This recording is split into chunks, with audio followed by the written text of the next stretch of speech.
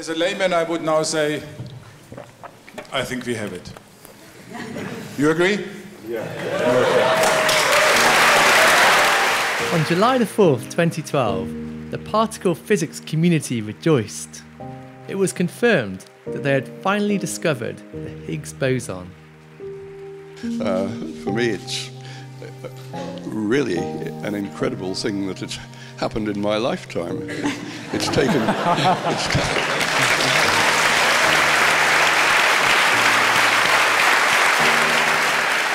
It's this was the final piece in the standard model of particle physics, the framework through which physicists have understood the fundamental forces of nature over the past half century.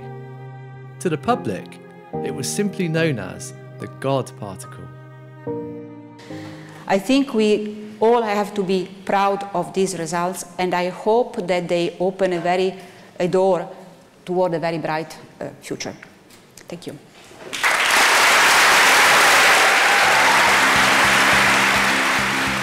During that famous seminar at CERN, scientists from the Large Hadron Collider's two main experiments, CMS and ATLAS, both confirmed the existence of a Higgs like particle.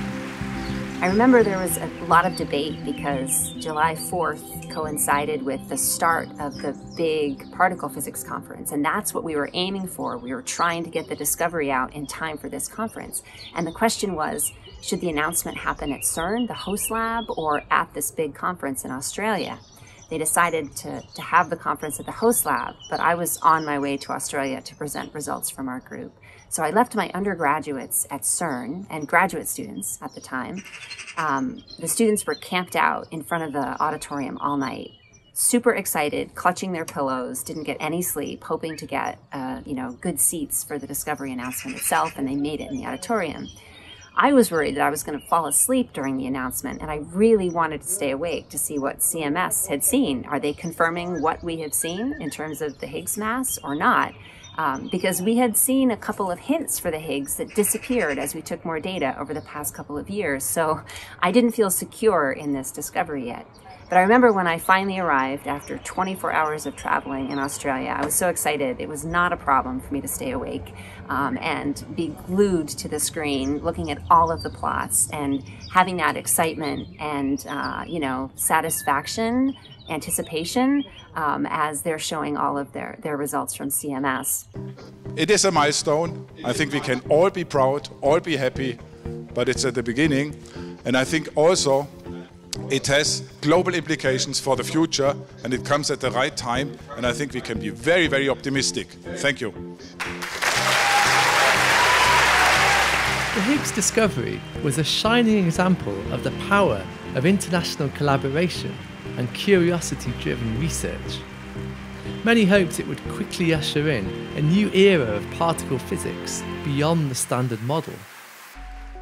But after all that elation, the past 10 years in particle physics have been slightly underwhelming. So far, the Higgs boson has been disappointingly conventional.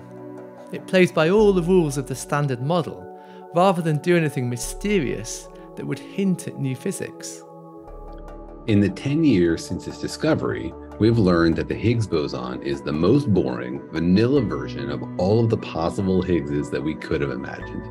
It's produced just as we expected and decays just as we expected. It doesn't do anything weird like turn into dark matter. It doesn't do anything that surprises us like turn into a new particle we never imagined.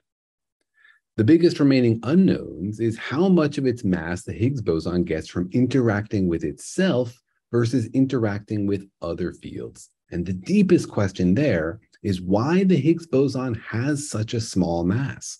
Some particles add to its mass and other particles reduce it.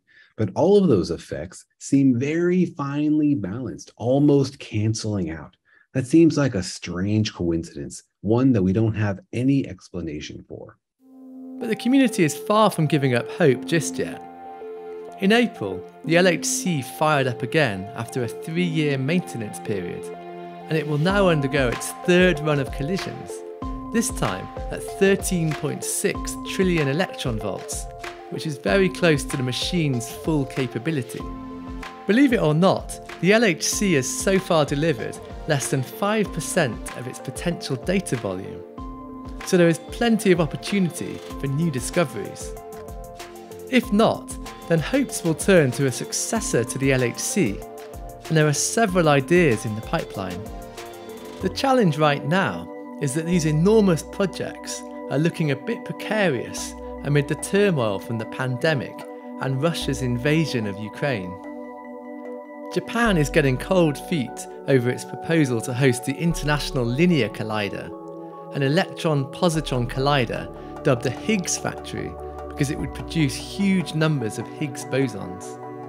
CERN itself has several other ideas on the table, notably the Future Circular Collider.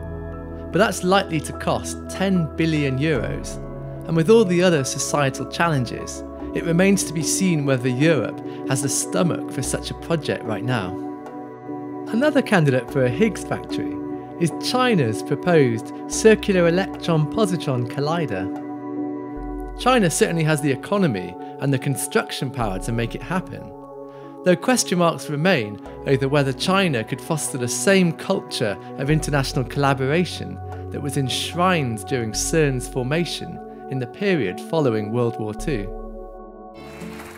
Despite the uncertainties, a new generation of particle physicists inspired by the Higgs boson discovery may take the field in directions that haven't even been dreamt of yet.